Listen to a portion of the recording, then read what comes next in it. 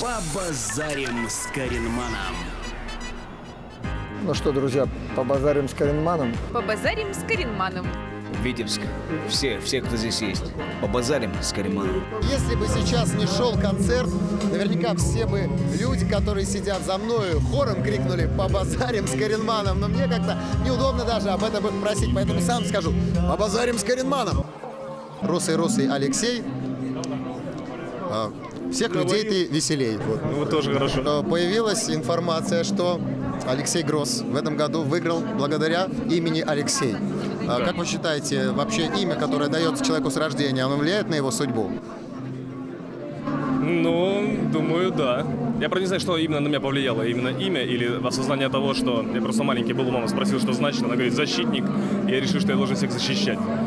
Я думаю, вообще Алексей прекрасное имя, чудесное, вы знаете ли. Люди, названные этим именем, они потрясающие люди. Давайте топ знаменитых Алексеев. Ну, понятно, Гомон, Гросс. А, Ну, я из Мурманска, вы знаете, там памятник Алёше стоит. Тоже героический человек. Более героический, чем мы, конечно, Алексей и остальные. А, кто еще у нас? Да и хватит, знаете, вы. Алеша Попович вот есть. Алёша Побоич, да. Самых великих вспомнили вообще. Скажите, пожалуйста, будет ли когда-нибудь, ну, по крайней мере, в ваших планах такое шоу, как вот было «Хочу Виагру», только «Хочу в сопрано турецкого»?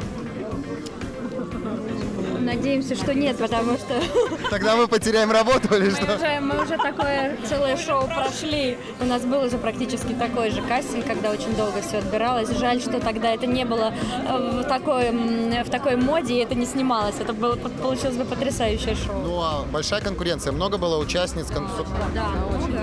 Сколько? Тысяча, две, три? Нет. 17 тысяч? Поменьше, поменьше. 16 900? Со всей России, со всего мира вообще приезжали. Да. Все очень разные. Еще одна вот, иди сюда. Вот Здравствуйте. Иди сюда. Катя, иди сюда. И Даша, иди сюда. А вас почему оставили вот там? Идемте к нам. Вот мы у вашей э, подружки спрашивали вопрос, который я сегодня задаю практически всем артистам. Э, почему Славянский базар постоянно с дождем? Может быть, вы знаете секрет? Ну почему? Не всегда. Где-то пару лет, наверное, назад мы приехали, было очень жарко.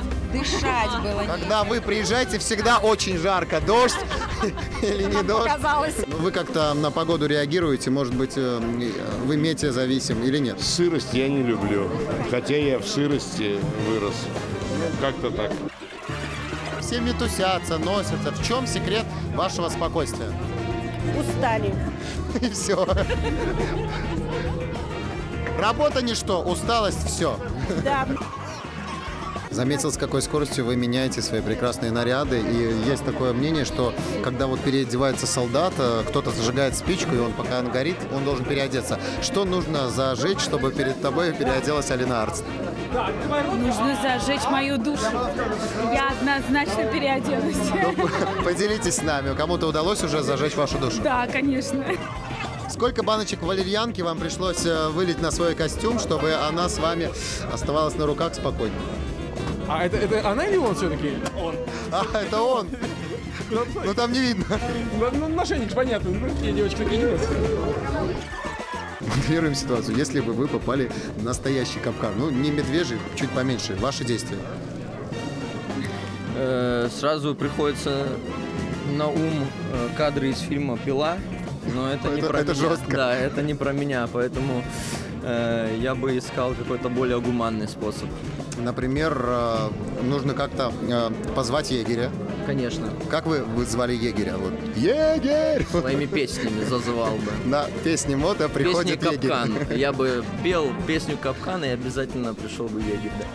Ну, раз уж вы в первый раз в Витебске, что-нибудь в вашей памяти останется о нашем городе? Ну да, когда мы рано утром вышли из поезда и нас везли в гостиницу, мне очень понравилось, что, несмотря на раннее утро, в 5 утра уже довольно насыщенное движение было, и люди шли на какие-то свои по своим делам, а в 5 утра в это время здесь еще шел концерт. И это меня потрясло до глубины души. А, помню, в Витебске мы так загуляли, что забыли и дорогу домой. Был случай, когда э, я гуляла в городе, и возле ратуши сидел гармонист, ну, как сказать, все музыканты, все зарабатывают кто как может. Вот. И он увидел, говорит, о, девятого, ну, вам же не сложно? Я говорю, мне нет. Ну и вот мы с ним, собственно говоря, зарабатывали вдвоем. И что вы пели? Группу «Крови на рукаве»? Что, какую песню? Нет, к счастью, мы исполняли народные песни. Откройте нам тайну, что стоит у вас на будильнике, какая песня? Стандартная. Бип-бип, бип-бип, бип-бип. Почему не ваша? Я не слушаю свою песню, только исполняю. Один вопрос, связанный с вашей композицией «Глубоко под лед». Приходилось ли вам бывать на зимней рыбалке? А, с папой много лет назад я достаточно часто ездила на рыбалку, потому что папа мой заядлый рыбак. Если бы вам предложили роль в голливудском боевике, это был бы положительный или отрицательный персонаж? Конечно, отрицательно. Мне надоело положительной роли. А вы можете изобразить э, злобный смех? Yeah!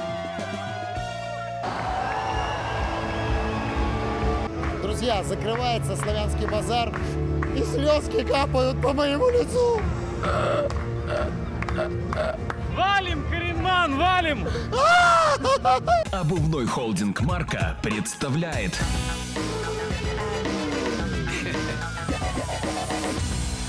Побазарим с Каринманом.